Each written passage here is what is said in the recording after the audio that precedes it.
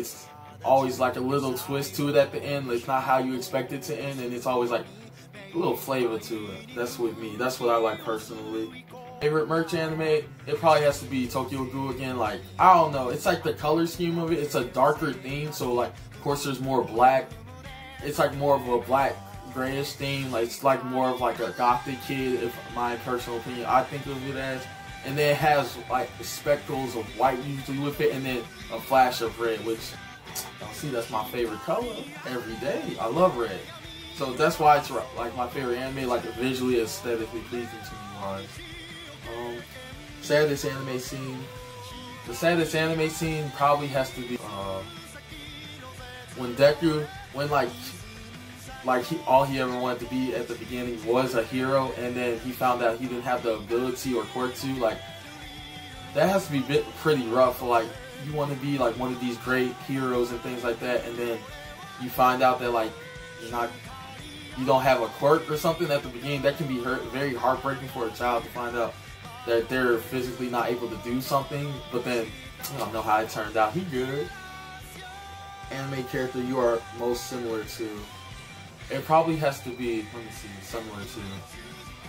Hmm, say Hinata because he's he's that character that's always been underrated his whole life, and he feels like no matter what he does, he couldn't really stand out or how hard he worked it wasn't like he wasn't able to accomplish what he was able to accomplish to until he got to high school. That's when things started to pick up for him, and he started to get noticed, and then people started to acknowledge how great he was as a character. So I like Hinata from Haikyuu, so that's what I was saying right now. Um, like, anime that never gets old, no matter how many times you've watched. One Punch Man. I love One Punch Man. Like it's it's just over the top silly, but you know, it's very, it can be serious at times, but it's just all over the place. Like, I love One Punch Man. That's one of the funniest ones I can watch over and over again. Favorite animal side character, pet, something side character, Killua from Hunter Hunter. I don't know, he seems more like the protagonist than Gon, but I like Killua because he always got Gon's back, even though he be acting like, oh, but he, sorry about that. So the camera cut off. But yeah, the side character that I like the most is Killua because I feel like he's just always ready for war, ready to attack and things like that. I think he's a cool character, even though he be acting all all shooken up when Gon be like, he's so great. He's like. I do like him as a character. He's very cool and he's he's a goat. He's a goat within his own. You already know he's a goat.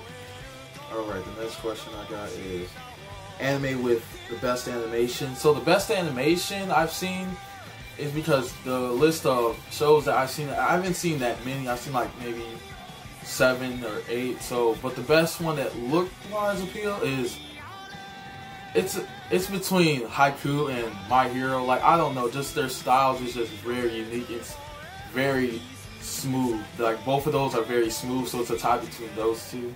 That's what I'm gonna go with.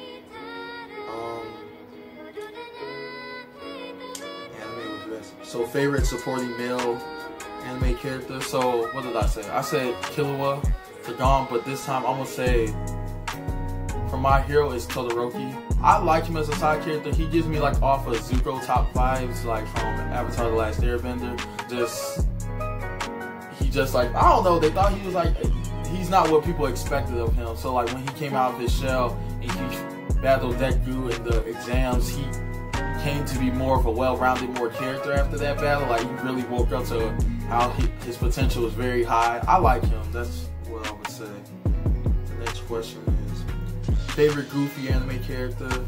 So Goofy, Luffy from One Piece. I don't know. He's just he he he, got his life all over the place. He's like, yeah, I'm gonna do this.